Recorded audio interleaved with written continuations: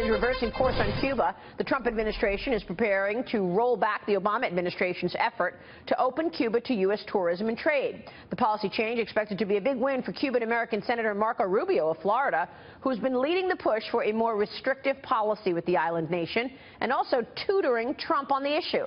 The president will reportedly announce the changes in Miami later this week. Joining me right now is the former Speaker of the House, Fox News contributor Newt Gingrich, and he is the author of the new book, Understanding Trump. Speaker, good to see you. Thanks so much for joining good us. See you, and I should point out I was Speaker when the Helms-Burton Act was passed, so I agree entirely with Secretary Tillerson. This is the right general direction. Rubio probably understands the pressure we need to bring on the Castro dictatorship as well as anybody in the country, and I'm glad to see the president following that lead. And, and Marco Rubio is arguing that, you know, President Obama just went too far. Well, he didn't get anything for it. He didn't yeah. get any prisoners released. He didn't get any change in policies. He didn't get any real openings. I mean, I am for finding a way to normalize relations, but that means Cuba has to be willing to normalize back towards being a, more, a freer country.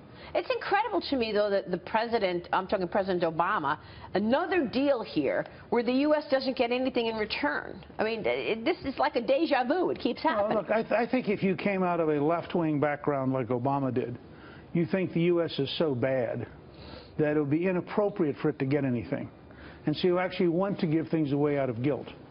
Uh, and uh, remember, on the left, people wear Che Guevara T-shirts and have no idea how many people he killed. Yeah, exactly. Yeah, so so you agree this is a smart move. Very smart. Pres President Trump is also going to be filling a campaign promise with this because he talked about this on the campaign. Yep. What what's the impact to business? I mean, what about you know the JetBlues of the world who started flights there and and and, and started hard hard to do business with Cuba?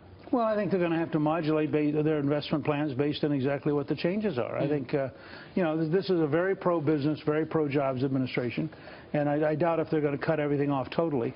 But I do think they're sending a signal here, as they are in so many other areas, that we're back to putting America first and we're back to being tough rather than being uh, automatically acquiescing uh, with, with bad decisions.